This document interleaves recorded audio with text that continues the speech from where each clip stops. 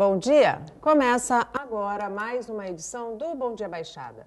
Hoje é terça-feira, 25 de setembro, e vamos juntos até as 9 horas da manhã. No programa de hoje, vamos falar da saúde em Santos e em São Vicente. Para tratar de vários temas, recebemos o secretário de Saúde de Santos, Fábio Ferraz.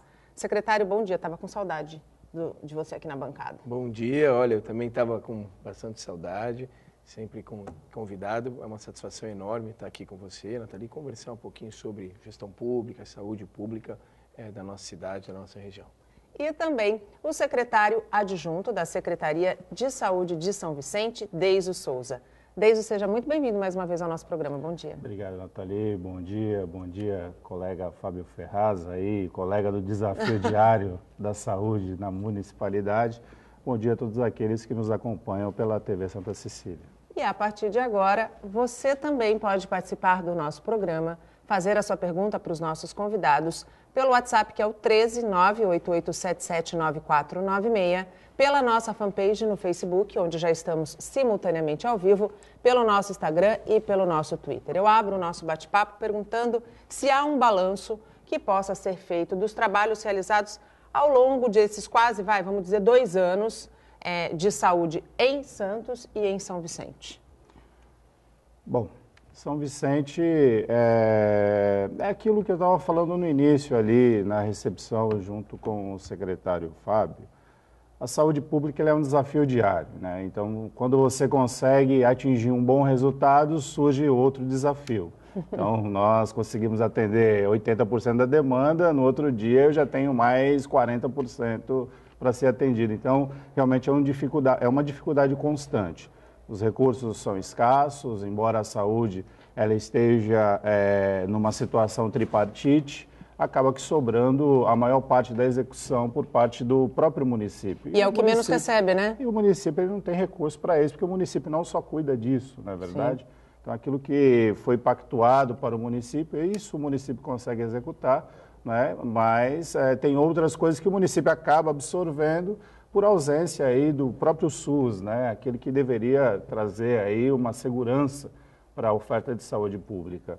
São Vicente, hoje nós, é, depois de aproximadamente aí quase dois anos à frente da secretaria, né? uma nova gestão, é, conseguimos aí avançar muito, principalmente na, na retomada dessas construções que foram é, iniciadas, iniciadas na gestão anterior e, obviamente, o grande problema para o início disso é que elas foram superdimensionadas. Sim. Então, hoje, além de nós termos um problema de estrutura, é uma estrutura muito grande, nós temos também a dificuldade de RH suficiente para preencher aí. Sem falar do custeio depois, Isso. né? É por exemplo, Sacatarina é uma unidade que a gente esse ano já consegue inaugurar, retomamos lá é, a, a, a, obra de, de finalização, porém é uma unidade que conta com aproximadamente 28 salas, né? Então, assim, 28 consultórios, né? O Fábio, ele está aqui, ele entende bem isso.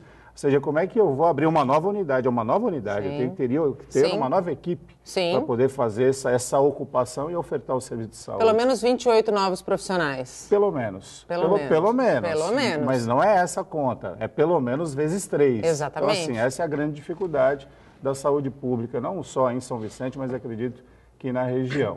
É, Fora isso, a gente conseguiu aí um convênio do governo do estado, né, um convênio de um aporte de 42 milhões de reais. É, esse convênio ele é direcionado para a construção, reforma e ampliação do hospital municipal e também de um pronto-socorro, onde haverá esse desmembramento. Né? Nós vamos retirar o serviço de urgência e emergência de dentro do hospital municipal.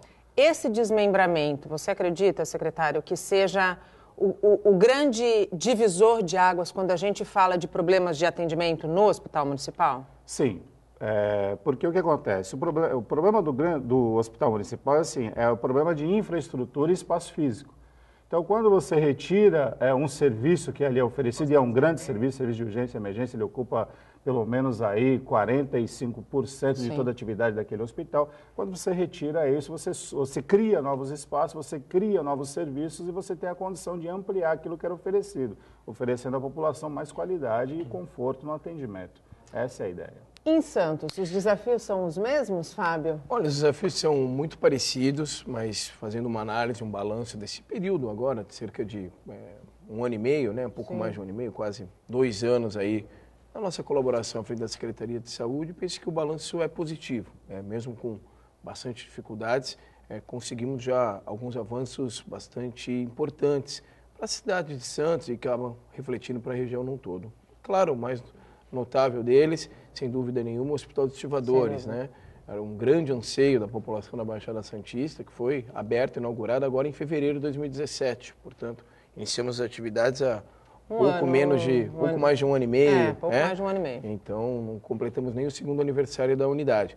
Hoje já temos 106 leitos, é, 100% SUS, é, 50 leitos é, destinados à clínica médica, 10 leitos de UTI adulto, além da nossa maternidade, com a UTI neonatal, e o, além dos números, né, que são já bastante expressivos, é, nós temos também a oferta de serviços é, já ampliada e com uma qualidade, ou seja, o quantitativo é fundamental, a quantidade, disponibilidade de serviços. Mas o mas qualitativo o... é essencial, né? Exatamente, nós temos aí realmente qualidade na prestação de serviço. É um modelo de gestão novo, é.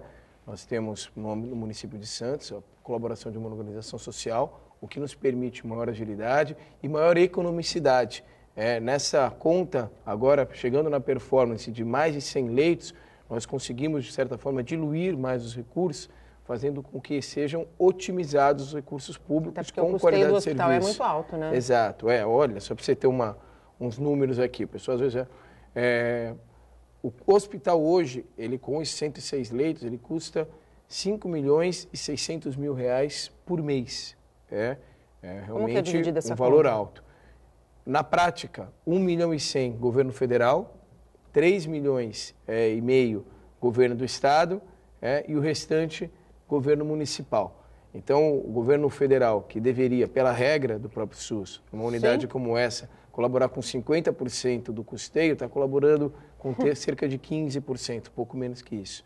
É, então, realmente há um desequilíbrio nessa conta. Agora, o que, a gente tem que fazer? Tem que trabalhar. É, e comparando é, o modelo com unidades é, no município de Santos, em que nós temos ainda o modelo clássico né, pela administração direta, é, nós percebemos que ele já é mais vantajoso. É, além, é claro, eu sempre reforço isso, porque a gente faz esses a gente fala em saúde, fala de números, fala de valores, mas o mais importante é falar da qualidade claro. do serviço. É, e eu, realmente, nós nos permitimos hoje dizer que nós temos excelência em serviço público praticado pelo SUS. É, então, muitas vezes é difícil você conjugar na mesma frase né, duas palavras, excelência e SUS. E nesse modelo nós já temos hoje condições de falar isso. E claro, seguimos aí com avanços importantes, principalmente na atenção hospitalar. Ainda é, já está praticamente pronta a nossa UPA da Zona Noroeste, a obra finalizada. Ah, esse ano? É. Olha, a previsão é que a gente inicie as atividades comecinho de janeiro. É, tá. finalzinho tá. desse ano, comecinho de janeiro, início das atividades. Agora estamos equipando, vamos fazer a seleção da próxima organização social e seguimos também é, com as obras da UPA da Zona Leste. Sim. É, do ponto de vista técnico, Santos precisaria ter duas é, unidades de pronto atendimento. Terá é. três. Teríamos fora, três. Fora, é. né? Porque a gente já tem a UPA Central. Exato. Então, nós temos aí a UPA Central e teremos essas nossas duas unidades UPAs. É. Também olha como... É, eu gosto de falar esses números para que realmente as pessoas tenham clareza das dificuldades que são encontradas. É, uma UPA, ela tem o custeio previsto, no máximo, no top, é, de 500 mil reais. Então, essa é o que o governo federal ajuda é, no mês a mês. A UPA Central hoje, ela custa cerca de 1 milhão e 600 mil reais por mês. É. A UPA da Zona Oeste, o custeio vai ser um pouquinho menor, porque ela tem tipologia 2, e a futura UPA é, da Zona Leste terá também tipologia 3, terá um custeio aproximado desse mesmo valor. Perceba que o, os cofres municipais, eles têm que arcar com praticamente é, dois terços Sim, é, do, do valor. Do. É, então, isso realmente é sempre uma dificuldade. Mas é claro que não cabe a nós ficar aqui é, reclamando, lamentando. Exatamente, é trabalhar, exatamente. é trabalhar, buscar as melhores soluções, mesmo é, com as dificuldades que enfrentamos. Ainda tivemos também uma outra boa notícia ali para a população do Piratininga. É, esse ano inauguramos é, a UPA é, do Pira, perdão, a UPA, a Policlínica do Piratininga, um, um equipamento também muito ansiado pela população. Esperado, a gente tinha uma né? parceria é, com a Sociedade de Melhoramento de Bairro lá que fazia o atendimento, é, mas claro que não da forma ideal. Sim. E agora a gente tem realmente uma unidade muito boa, além, evidente, de outras ações, principalmente, por exemplo, é, na é, ampliação de serviços é, com o maior, digamos, amparo por parte da administração. Cito aqui os agentes comunitários de saúde, que agora já estão recebendo seus tablets para poder trabalhar, as equipes estão efetivamente na rua. A tecnologia chegando aonde ela deve chegar, né? Exato, exato. E aí um, um, tema que eu queria justamente entrar, que eu acho que é um dos temas mais importantes, que a gente está agora finalizando esse ano, consagrando toda a informatização da rede. A gente já teve a oportunidade de conversar um pouquinho aqui, Nathalie, é, no seu programa, mas agora a gente já tem aí praticamente 90% da rede informatizada. Isso quer dizer o quê? Que cada espaço, cada consultório, cada espaço, por exemplo, um dispensário é, de medicamentos da rede municipal de Santos já está informatizada, com computador plugado no sistema, prontuário único. Então, hoje, é, o município de Santos, ele, por exemplo, ele é atendido na Policlínica da Aparecida, estou né? dando um exemplo, e precisa ser é, socorrido dentro da UPA central, o prontuário dele é, que das dois atendimentos da Aparecida já, já faz constar é, exatamente na UPA ou em uma outra nossa unidade. Então, é um avanço muito significativo é, que realmente colabora demais para a gestão pública.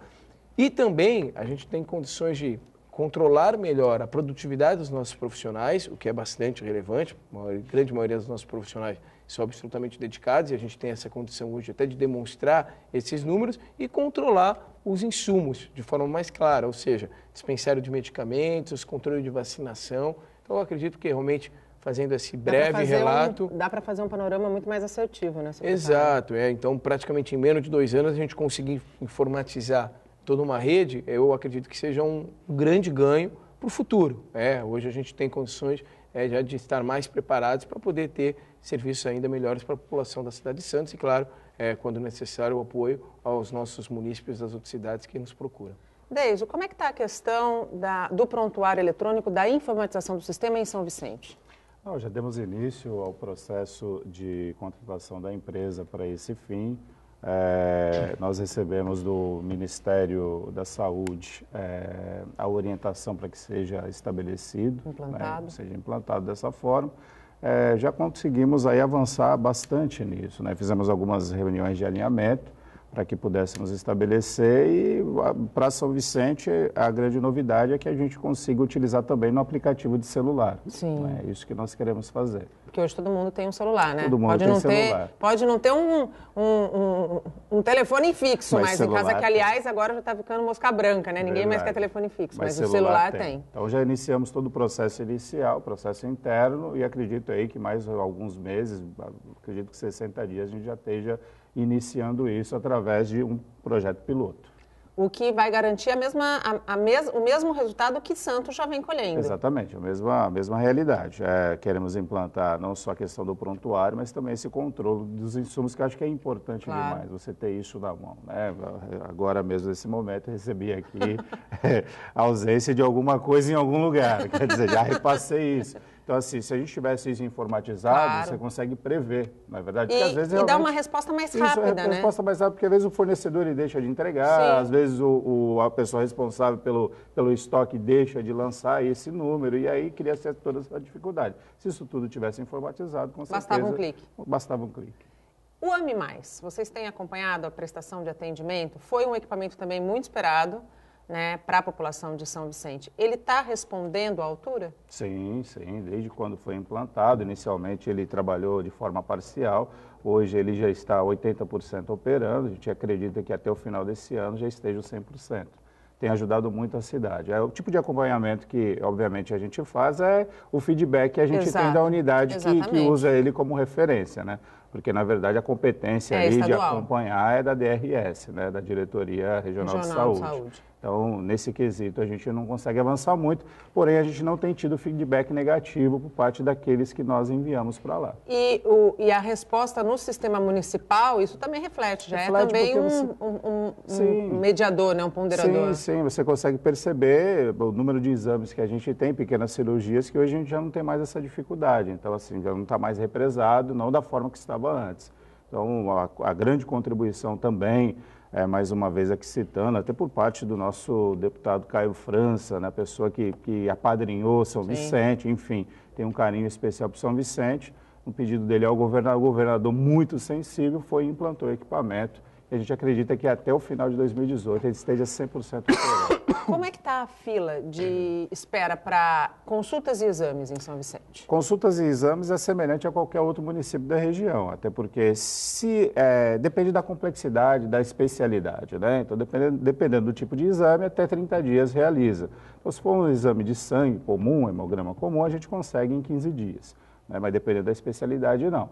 É, tem exames que a gente não realiza e alguns tipos de exame que a gente não realiza. Ou a gente lança a mão da iniciativa privada para isso, né? mas é, para isso eu preciso de recurso, ou então a gente lança para o CROSS, para aquele é, central de regulação. Né? Redireciona. Redireciona, dependendo da especialidade. E em Santos, secretário, como é que está a questão da fila de, é, de espera para consultas e exames? Olha, a estratégia é de firmar boas parcerias. Né? Nós já conseguimos firmar algumas delas e diminuir de forma bastante significativa o tempo de atendimento. A dificuldade é realmente você diminuir esse tempo. Santos tem uma vantagem, nós temos, de certa forma, serviços privados estabelecidos na cidade. Então, nós conseguimos é, promover essas ações através dessas parcerias. Vou dar um exemplo. É, nós fizemos um processo licitatório para endoscopia e colonoscopia. Que é, era uma demanda reprimida, Uma né? demanda importante, reprimida. E diminuímos de forma bastante significativa. Ainda não conseguimos zerar. É agora, sinal, a partir do mês de outubro, a gente vai iniciar também com essas especialidades no Hospital de Estivadores, é, para que a gente possa ter um maior equilíbrio. Vou dar uma, outro exemplo na área oftalmológica. Nós temos também uma, uma demanda é, reprimida bastante significativa, principalmente de processos é, e procedimentos, melhor dizendo, cirúrgicos, é, por exemplo, cirurgia de catarata. catarata. Então, qual é a estratégia? Firmar parcerias. Né?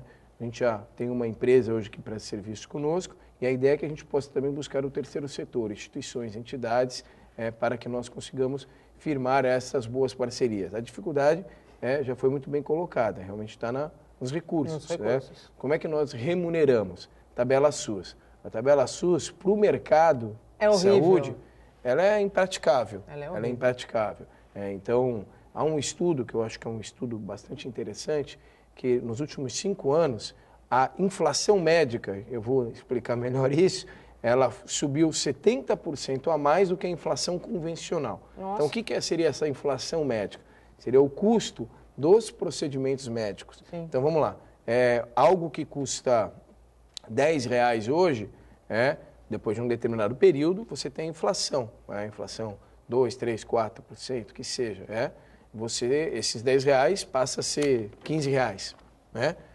Né? Quando a gente fala de procedimentos médicos, a gente quase chega ao dobro do Sim. que seria essa evolução.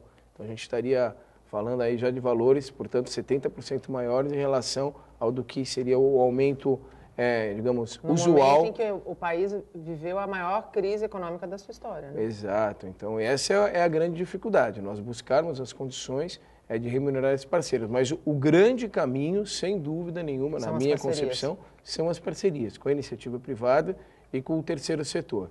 Passou o tempo na administração acreditar que vai resolver todos os problemas, é pelo modelo clássico da administração direta. Não vai, é, é muito mais difícil. Só para é, as pessoas entenderem. Então, por exemplo, eu tenho lá um equipamento. É, quando o equipamento vem ter um problema, é, quebrou, determinado equipamento, sei lá, vou falar aqui um raio-x. Invariavelmente a gente tem um problema com o raio-x. É, Demora quanto é, tempo? Invariavelmente eu preciso comprar, por exemplo, uma peça. Sim. É, então, isso, isso às vezes eu tenho que fazer uma licitação, uma licitação, então demora 30, 40 dias, o que não é sustentável você perder claro. esse equipamento para esse período. A gente acredita que você, tendo a possibilidade de ter um parceiro privado, é, um parceiro do terceiro setor, e você remunerando pela produção, ele tem meios é, de promover essa troca, essa substituição, esse conserto muito mais rápido. E a gente vai remunerar sobre os procedimentos realizados. Então, é, realmente eu acredito que esse seja o melhor caminho para a gente seguir. O Bom Dia Baixada vai para um rápido intervalo. No próximo bloco, a gente segue falando sobre saúde pública em Santos e São Vicente. Não saia daí, até já. O Bom Dia Baixada está de volta e parentes de um adolescente que morreu há duas semanas denunciam negligência na UPA Central de Santos. Este vídeo divulgado em redes sociais revela a revolta da tia e do pai de Luca na unidade de pronto atendimento central de Santos. Isso aqui é uma fábrica de morte. Isso aqui é uma fábrica de morte.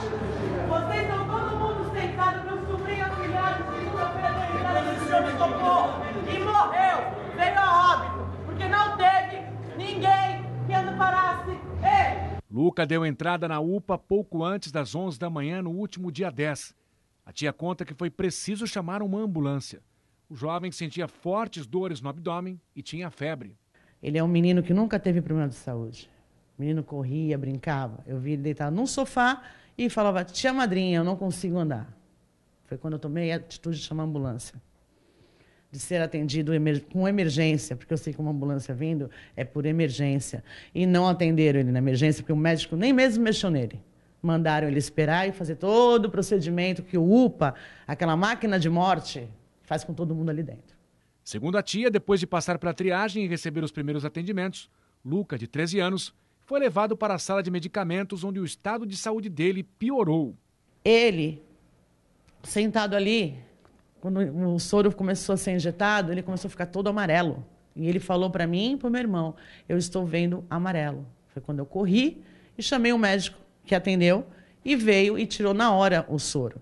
A partir daquele momento, ele já tinha que ter ido uma sala de emergência, ali colher o sangue. O médico mesmo falou na sala de medicamento que era para correr com o resultado do exame de sangue, que era para eles ignorarem o exame de urina, porque meu afilhado não estava conseguindo urinar mais. Ainda segundo os familiares, o resultado do exame de sangue só ficou pronto quase oito horas após Luca dar entrada na UPA Central. Ele foi levado para a emergência, onde teve que aguardar vaga de UTI em um hospital da região. Foi desumano descaso total. Batia a mão no meu e dizia: Eu não posso fazer mais nada. Sendo que meu filho deu entrada para poder ir para um hospital mais preparado para receber uma possível cirurgia, se necessário fosse, que parecia ser. E, e, detalhe, era um, era um, garoto, era um garoto extremamente saudável. Ele nunca teve, sabe, nunca precisou tomar um antibiótico, nada. É verdade, ele mal pegava uma gripe. Na manhã do último dia 11 veio a triste notícia. O filho único de Glauco não resistiu.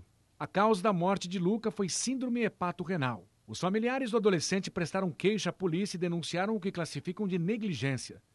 Além disso, procuraram este advogado para entrar com o processo. Vamos acompanhar uma resposta da, administração pública sobre o caso, né, todas as documentações possíveis, colher todas as documentações, todos os fatos, tomar todas as providências cabíveis no caso e acompanhar as investigações, para depois a gente apurar realmente quem são os culpados. Eu não quero promoção, eu não quero, sabe, não estou correndo atrás de indenização, eu quero que outras mortes não aconteçam dessa forma.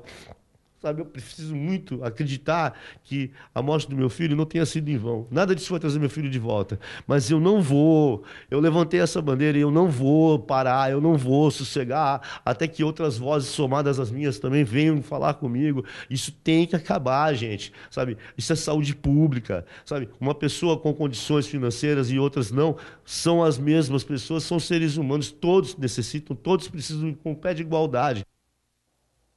Precisam mesmo.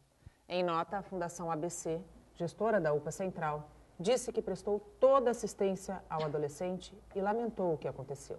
A unidade aguarda agora resultados de exames enviados ao Instituto Adolfo Lutz para determinar a causa da morte.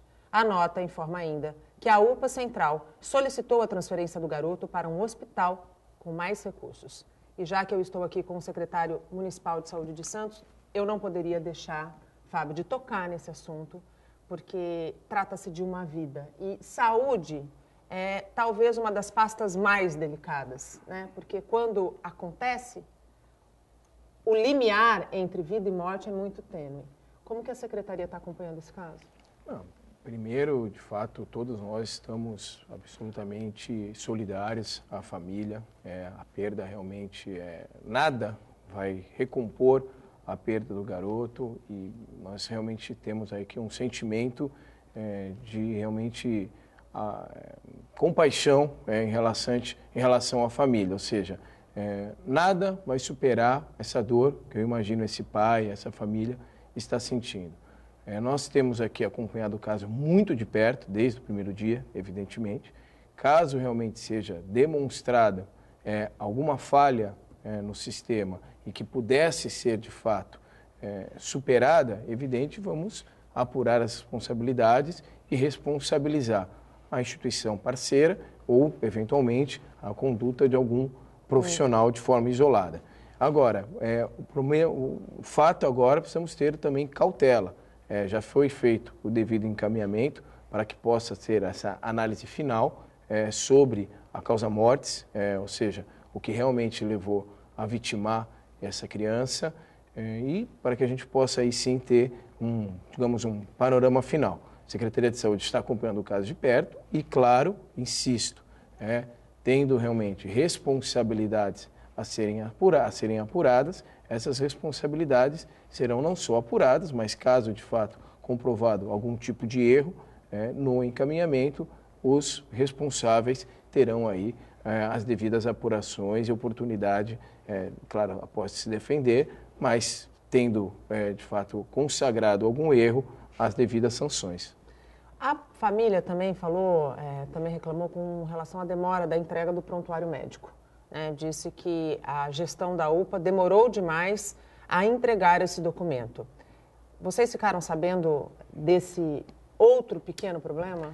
Olha, esse prontuário foi entregue para a família? Sim, o prontuário já foi entregue na, na última sexta-feira. Há sim, é, no caso de um falecimento, algum nível de processo burocrático é, para a entrega é, do prontuário médico, porque não seja outro motivo que a preservação do próprio paciente que veio a óbito, para que tenha aí a garantia é, de que esse é, prontuário não seja, não exponha de forma nenhuma o paciente. Então, há uma pequena burocracia, mas nada também complexo. Esse prontuário já foi entregue na semana passada, salvo me engano, sexta-feira, quinta ou sexta-feira da semana passada.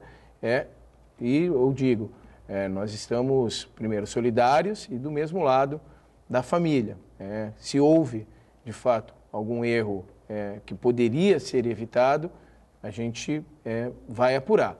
Mas é claro também que a gente tem que ter cautela, responsabilidade. Não, não fazer que é um nenhum pouco... julgamento precipitado, Isso, né? Isso, é. A gente tem que ter um pouquinho de cautela. Que, lamentavelmente, lamentavelmente, é, acontecem situações parecidas com essa, em que, de certa forma, você tem um quadro é, clínico acentuado de forma muito rápida. É, isso acontece em unidades privadas, isso Sim. acontece em unidades públicas, isso acontece em qualquer lugar do mundo. Né? Então, precisamos apurar.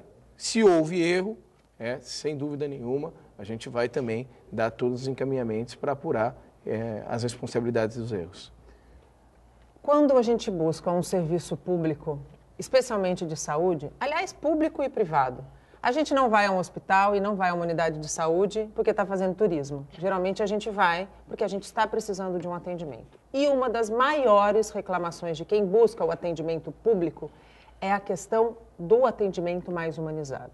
Em São Vicente, como é que tem funcionado? Como é que a prefeitura, a secretaria tem promovido cursos de qualificação para que esse paciente que chega geralmente num estado já alterado seja atendido com qualidade e com respeito? Então, em São Vicente nós temos o NEPS. Né? O NEPS ele é o Núcleo de Educação Permanente né, do Serviço de Saúde e constantemente a gente realiza capacitações. É, agora, a matéria é, humanismo, ela abrange muito mais do que isso. Né? Ela não é uma questão que você consegue implementar em sala de aula somente ela vai muito do profissional. Sim. Essa conscientização é que é o grande desafio. Eu acredito que não só na área da saúde. Né? Todas, né? É obviamente que isso para a área da saúde se torna um pouco mais acentuado, porque saúde a pessoa realmente ela se encontra naquela condição, né? Ela vai na unidade de saúde, ela está sensibilizada, ou ela, ou ela está portando alguma enfermidade ou acompanhando Ou alguém. acompanhando Então, assim, é, os ânimos, obviamente, estão alterados. Uma pessoa doente, como você bem disse, ela não vai, não procura um serviço de saúde, né? fazer turismo, né? Só para Turistando. pegar, só para pegar atestado, porque até se ela fizer isso também ela vai ter uma dificuldade, Exato. não é verdade? Ela vai ter que responder vai por ter isso? que responder por isso. Então, assim, é, essa conscientização, ela passa muito pela pessoa, pelo indivíduo em si, né? pelo ser humano. É, é, o humanismo é, vem disso, né? De ser humano, de, de amar ao próximo. Né? E toda vez que você pergunta quem é o seu próximo, obviamente a resposta seria quem está do lado. Sim, Né? Quem é o seu claro. próximo? É quem está perto. Ou seja, o momento em que você pode fazer a diferença é o momento que a oportunidade te dá.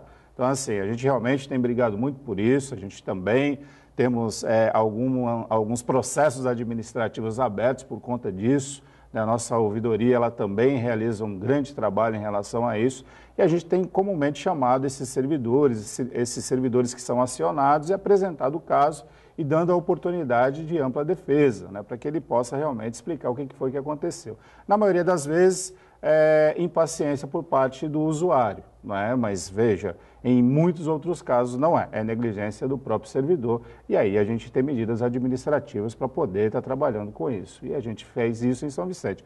É, voltando à questão da, da capacitação, a capacitação, a atualização profissional, ela não, não, ela não não se aplica somente na área da saúde, mas em todas as áreas, né? Você está aqui, você uma entrevistadora, uma repórter, você sabe que você Sim. precisa buscar novas ferramentas para acompanhar essa vo- evolução, Evolução. né? Até porque está tudo muito rápido hoje em Muito, dia. muito, Não é verdade? Hoje, muito hoje rápido. Quem cuida de mídia tem que se antenar a questão principalmente da, do que é virtual. né? Exatamente. Então, assim, E as notícias, elas trafegam com uma velocidade muito, Muito- maior muito por maior. conta do ambiente virtual. Muito maior. Então, assim, essa atualização profissional, ela, obviamente, ela é um fator determinante para qualquer, trazer qualquer qualidade em qualquer serviço oferecido.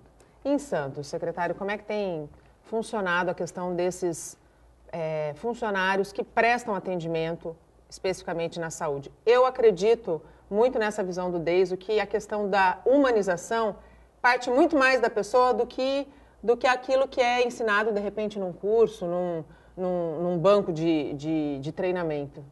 É, primeiro nós temos alguns pontos, né? Por exemplo, unidades que características de pronto atendimento, é, pronto socorro.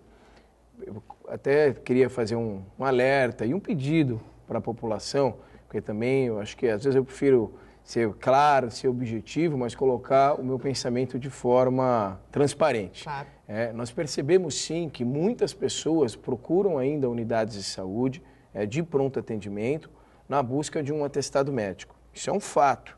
É. Vou dar um número aqui importante: de 15% a 20%, toda segunda-feira Ah. É aumento nas nossas unidades de pronto atendimento. Vou te Por dizer exemplo, que no hospital, Central. no hospital privado também isso acontece. É Pois bem, incrível. então é o seguinte, não é, não é possível que toda segunda-feira as pessoas fiquem mais doentes. Tem alguma relação E se com ficou doente ao o longo final do de fim semana. de semana, não precisa esperar a segunda para Exato. Né, Então, é, as pessoas ainda. E quando bem. a pessoa vai, é, é importante sim. Porque até a gente está num, num cenário agora de eleição, né, Sim. que a gente cobre, tem que cobrar mesmo é, dos nossos políticos, mas a sociedade também, na sua base, tem que fazer algumas reflexões. Quando a gente vai numa unidade de saúde de pronto atendimento para buscar um atestado médico, né, para, de certa forma, é, fazer um, algum encaminhamento profissional, a gente está deixando, está dificultando o atendimento para uma pessoa que realmente De fato necessita. precisa. É, por exemplo, na UPA Central, 85% por nosso- por cento do nosso atendimento, nós utilizamos o protocolo de Manchester, que é o protocolo internacional de cores, para priorizar atendimento.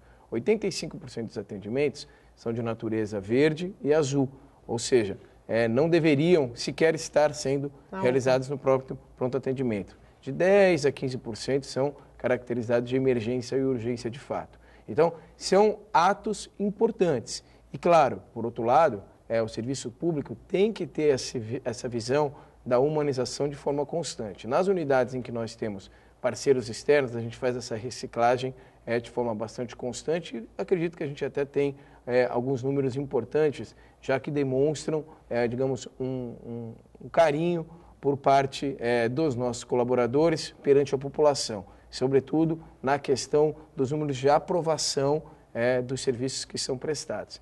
Agora, também tem um outro tema que é bastante relevante que eu também queria trazer rapidamente aqui. É, Juntaram-se as principais é, entidades representativas dos profissionais de saúde. Sim. CRM, é, o pessoal da, da enfermagem, farmácia, enfim, fizeram um movimento conjunto contra é, a violência, a agressão física é, e verbal, moral, Sim. que os profissionais da saúde têm sido acometidos, alvos, alvos bem, bem colocado, tanto unidades públicas como unidades é, privadas, unidades particulares. Então, é muito importante que a população compreenda, sim, é, que o profissional de saúde é, que está ali trabalhando, mesmo que em algum momento com algum tipo de adversidade, muitas vezes até causada pela própria estrutura do equipamento, e aí o poder público tem que melhorar. A gente tem que melhorar. Realmente, alguns equipamentos a gente tem que melhorar bastante. Mas o profissional de saúde está fazendo o máximo que lhe é possível naquele momento. Então, a população realmente tem que assim, ter esse espírito de compreensão é, e não só não agredir, mas de certa forma até homenagear no dia a dia todos os profissionais de saúde que estão ali efetivamente para prestar esse serviço à população. E que muitas vezes trabalham em condições que, como bem disse o secretário, ainda precisam e muito ser corrigidas. O Bom Dia Baixada vai para mais um rápido intervalo. Não saia daí, até já. Estamos de volta e chegamos ao último bloco do nosso programa. Participam do Bom Dia Baixada o secretário de Saúde de Santos, Fábio Ferraz, e o secretário adjunto da Secretaria de Saúde de São Vicente, Deiso Souza. Hoje falamos sobre saúde pública nas duas cidades. Ainda dá tempo de você participar do nosso programa, fazer a sua pergunta para os nossos convidados, através do nosso WhatsApp, que é o 13 988779496, pela nossa fanpage no Facebook, onde estamos simultaneamente ao vivo. Aliás, eu quero agradecer quem está nos acompanhando pela nossa fanpage, pelo nosso Instagram e pelo nosso Twitter. Desde depois de sete anos, amanhã, Hospital São José volta a atender pacientes do SUS. E, aliás, numa data importante para a própria unidade de saúde, onde ela vai estar comemorando 100 anos. 100 anos. O que isso significa para o município e para o morador de São Vicente? Bom, em primeiro lugar, quando você fala de São José e São Vicente, você acaba confundindo as histórias, né? Você já não sabe mais quem veio primeiro, é se veio o hospital primeiro ou se veio a própria cidade. É, 100 anos, né? 100 anos, um século aí. Uh, para São Vicente. A São Vicente ela ela está muito feliz porque realmente aí depois de muito tempo e muita negociação nós conseguimos de fato estabelecer aí é, uma parceria com o Hospital São José. Agradecer aqui a todos os envolvidos nisso, né? O próprio Carlos Gigliotti, a pessoa que hoje está como provedor lá da, da entidade, é, foi muito solícito ao prefeito pela habilidade Sim. em conseguir é, adequar a nossa realidade diante daquilo que o hospital tinha, né, a estrutura que o hospital tem para oferecer. É, e acertadamente, amanhã a gente consegue aí assinar esse, esse termo de convênio. É um termo de convênio que vai trazer para São Vicente 32 novos leitos. Isso é um grande avanço para a saúde pública, né? Recentemente nós tivemos aí a inauguração de 25 novos leitos no próprio hospital aqui dos Estivadores Sim. e você percebe é, o grande ganho para a cidade e para os munícipes.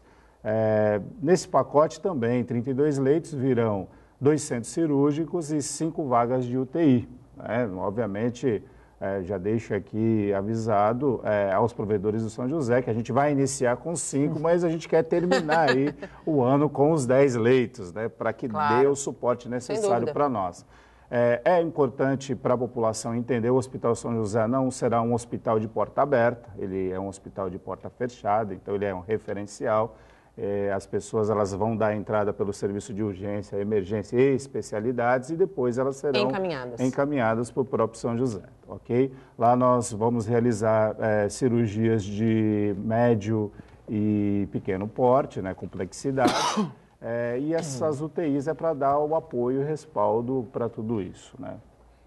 Esses 32 leitos para Santos representa muito também, né? Muito, eu estou muito feliz. é, não, de fato, todo o equipamento novo, toda a disponibilidade de serviços, toda a disponibilidade de leitos é, na região é, é tem que ser muito comemorado por todos nós é, que colaboramos com, com o SUS é, de forma geral. Mas é muito importante sim que São Vicente tenha esse processo de retomada. A gente sabe, não é pela presença aqui do desde, mas uh, o movimento positivo do, dos últimos, talvez, um ano e meio aí, é, que São Vicente é, está tendo, assim como Cubatão também. Sim, É, sim. E, por outro lado, os momentos difíceis que passaram em antes disso. As duas cidades, É, inclusive, As duas né? cidades tiveram aí dificuldades muito grandes do ponto de vista político, isso é um fato. É, não estou aqui partidarizando nenhum tema, mas nós tivemos, por exemplo, Cubatão. Conhecido de todos, isso virou o prefeito público. que a prefeito, eh, não era prefeito, assumiu outro prefeito, enfim. Prefeito de São Vicente também passando por muitas dificuldades e o resultado está aí. É, houve uma desestruturação de serviços públicos e que agora passam a ter, portanto, uma retomada nesses dois municípios. E quando esses dois municípios tiveram essas dificuldades, houve ainda uma concentração maior de serviços é, para atender a população é, na cidade de Santos. Isso é um fato. Então, agora, com essa retomada dos serviços com qualidade e, sobretudo, com é, números importantes nesses dois municípios, e, claro, São Vicente também segue esse mesmo ritmo, nós aqui em Santos também ficamos, além de muito satisfeitos por, pelos vizinhos, é, também mais aliviados, porque sabemos que teremos condições de dar uma atenção ainda maior para os pacientes de Santos, uma vez que os serviços estando novamente estruturados nos municípios, os municípios também terão condições de fazer esse atendimento para os seus municípios. Então, eu acho que para a região é muito mais importante. aliviado, né? É muito bom, muito bom. Como é que está funcionando o processo de seleção para os gestores da saúde em Santos? Aliás, um- um- uma decisão inédita, né, que priva não pela indicação, mas pra, pela plena meritocracia, né? Exato, é uma inovação trazida pelo nosso prefeito Paulo Alexandre, que nós começamos na área da saúde. Basicamente, é, são conhecidos né, os cargos de provimento, cargos em comissão.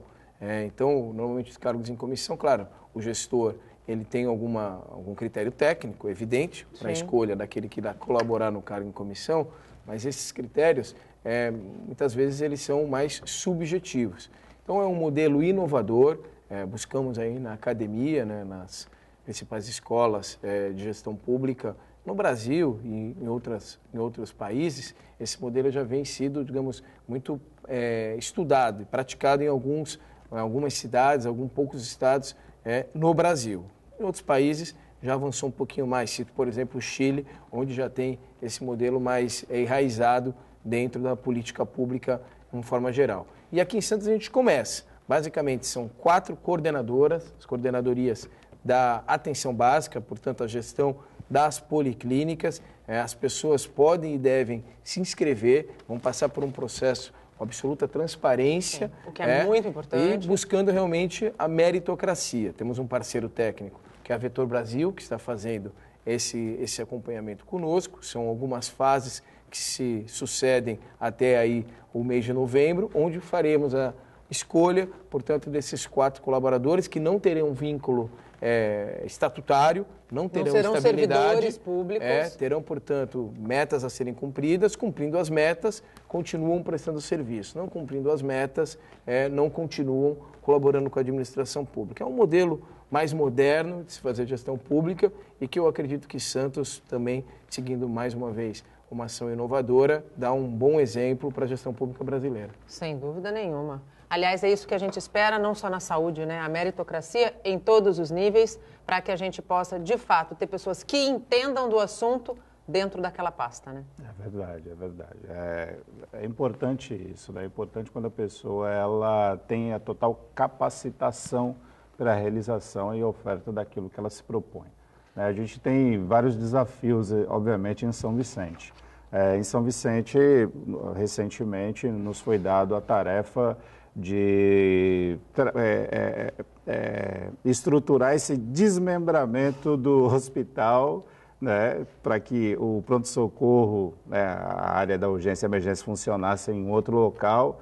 E o desafio maior foi buscar esse, esse local, esse novo imóvel. Sim. E fizemos um rearranjo lá, né? Por isso que eu falo, quando você tem capacitação na área que você está, É a coisa fica um fácil. pouco mais fácil. É um pouco mais então, a ideia surgiu de retirar o centro de especialidades de onde hoje ele funciona, transferir ele para um outro lugar, onde as obras já estão em andamento, né? bem aceleradas em andamento. Então, até mesmo esse ano a gente já consegue já equipar esse equipamento para liberar o espaço de onde funcionava o centro de especialidades e ali implantar realmente esse serviço de urgência e emergência, seria o pronto-socorro central desmembrado do hospital. Então, a gente ganha no hospital aproximadamente mais 20 leitos, somando-se aos, 20, aos 32 leitos 52. do Hospital São José e mais aos 20 leitos do Hospital do Maitá. Sim, é, onde então nós são temos, 72 são leitos. 72 leitos. Então, assim, a gente trazer realmente uma solução para isso, né? Quando a gente olha para o São José, obviamente, a gente tem que pensar que lá a estrutura é uma outra estrutura. Então, assim, a, o serviço mesmo de hotelaria, ou seja, o conforto para o paciente,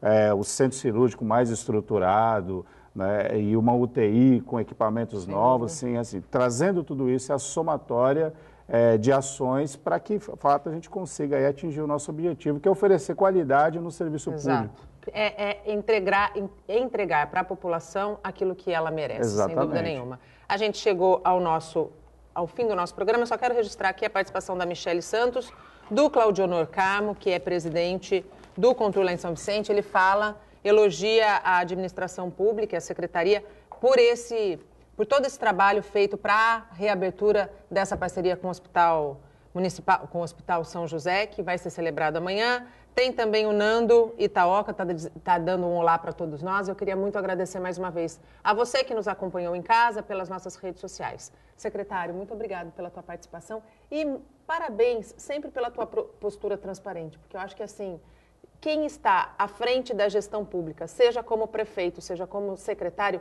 não pode, não pode deixar de falar a verdade. Eu que agradeço, Antônio, as palavras de incentivo. Aliás, sempre quando eu tenho a oportunidade de vir aqui de manhã com você, confesso que eu tenho, fico um pouco mais é, animado para o resto do dia. Você tem uma energia que contagia todos, não só os seus telespectadores, mas também quem te visita aqui. Obrigado. É, também um parabéns por essa é, nova novidade, nova novidade? É, pleonasmo, né? Mas essa novidade que nós tenhamos aí, esses novos leitos em São Vicente e que realmente tenhamos é, a saúde pública melhor estabelecida para toda a nossa região. Leve um abraço a todo o pessoal lá de São Vicente. Muito obrigado, bom dia a todos. Deise, muito obrigada mais uma vez pela tua participação e como parabenizei o Fábio, parabenizo você, porque é, sentar aqui e falar o que qualquer, o que a, a política muitas vezes manda é fácil. Sentar aqui e falar a verdade, sendo um homem público, às vezes é muito difícil. Parabéns pela postura. Não, obrigado. É, eu acho que o que prevalece é isso, é a sinceridade, né? independente do cargo que você ocupa. Né? Tem que ser sincero, até porque nós que estamos à frente de qualquer serviço de oferta ao público, no mínimo que a gente tem que ter é a verdade.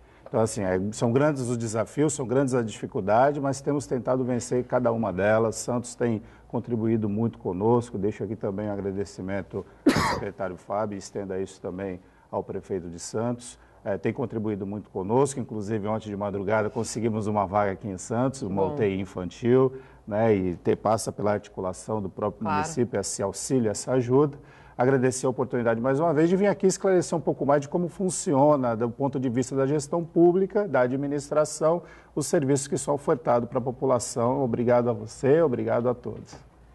O Bom Dia Baixada fica por aqui. A gente volta amanhã, a partir das 8 horas da manhã, com informação de qualidade de um jeito único.